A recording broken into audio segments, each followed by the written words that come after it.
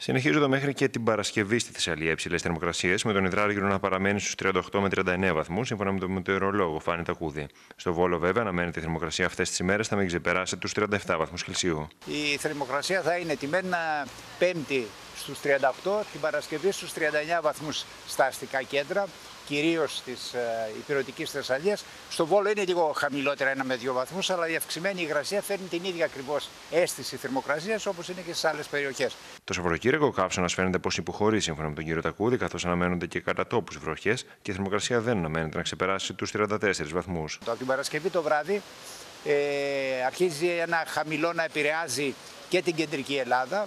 Όχι πάρα πολύ. Θα δημιουργήσει πάντως προϋποθέσεις ώστε το Σάββατο που θα έχουμε κάποιες συννεφιές να, να έχουμε και κάποιες τοπικές βροχές ε, σταδιακά σε ολόκληρη τη Θεσσαλία. Όχι συνεχόμενες βροχές, όχι κάτι ιδιαίτερο, αλλά και με τους βορειάδες που θα ακολουθήσουν μετά από το μεσημέρι, απόγευμα, η θερμοκρασία ε, θα βρεθεί σε καλά επίπεδα στους 34, 33 με 34 βαθμούς.